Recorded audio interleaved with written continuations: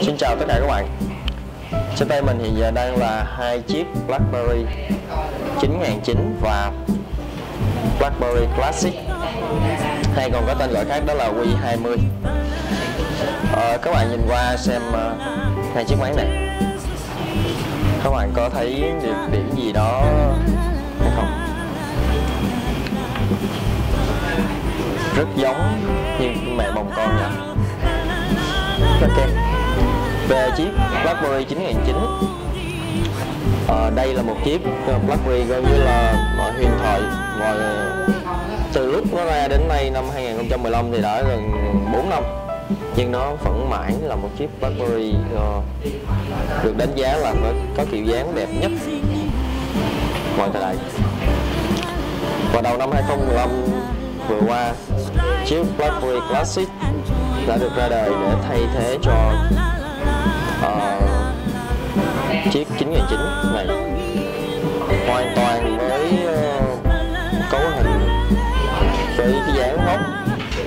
Và từ màn hình cho tới phím trackpad và các bốn phím điều khiển và bàn phím hoàn toàn như một chiếc BlackBerry 9009 mà các bạn đang thấy. Chỉ khác nhau đó là theo xu thế thì màn hình phải to hơn cái dài to hơn. Và thiết kế cạnh viền inox khá đẹp. Riêng duy nhất về cái mặt sau cũng không thể nào đẹp bằng chiếc 9009 nhưng bù lại thì nó là công nghệ của xu thế nó là công nghệ vân carbon chống chảy xước và chống bám thuốc vân tay. Cực kỳ hiệu quả với khả năng uh, giảm nhiệt tối đa giúp cho thời lượng pin của Wii20 hay được gọi là chip BlackBerry Classic được uh, nâng lên khá nhiều. BlackBerry Classic này là một uh, chiếc nguyên khói hoàn toàn nguyên khói. Và có cái cổng sim và cổng ờ, uh, thẻ nhớ nằm ngoài cạnh với một thiết kế khá tinh tế. Các bạn nhìn qua khá là tinh tế. Đây là một điểm mới điểm mới và khá là mới của BlackBerry bàn phím. Trước giờ chưa có tiền lại một chiếc BlackBerry có bàn phím nào uh, không thể mở cái nắp sau ra giống như uh, BlackBerry Classic.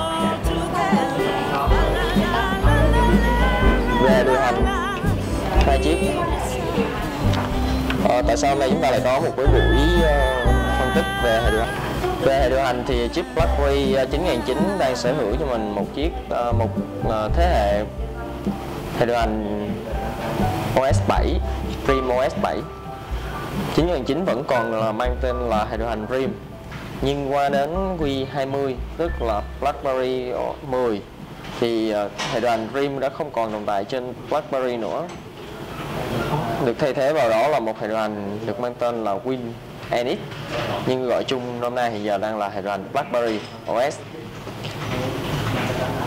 sở hữu và phát triển trên nền tảng BlackBerry Dream OS thì Win hệ điều hành BlackBerry OS hiện giờ vẫn sở hữu gần như toàn bộ cái nền tảng của Dream OS duy nhất một điểm đó là um, một điểm mà mình không không hài lòng nhất trên cái DMOS đó là cái về cái phần cái thuật toán tìm danh bạ.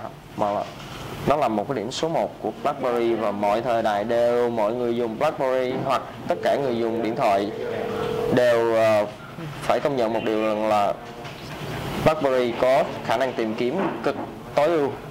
Nhưng qua Q10 qua qua Wii 20 này thì khả năng tìm kiếm đã bị giới hạn xuống. Theo như mình đánh giá cá nhân thì nó khoảng giảm đi khoảng 10% đến 20% bởi vì họ cũng theo xu hướng nhưng lại ờ, một cái xu hướng không được tốt lắm đó là thuật toán tìm kiếm của Apple và Google. Cùng trên một uh, hai máy cùng một danh bạ với nhau. Nhưng nếu với tìm với một cái cấu trúc câu mà vu vơ thì VMOS OS 7 chấm nó sẽ đưa ra kết quả gần đúng nhất so với ờ, hải đoàn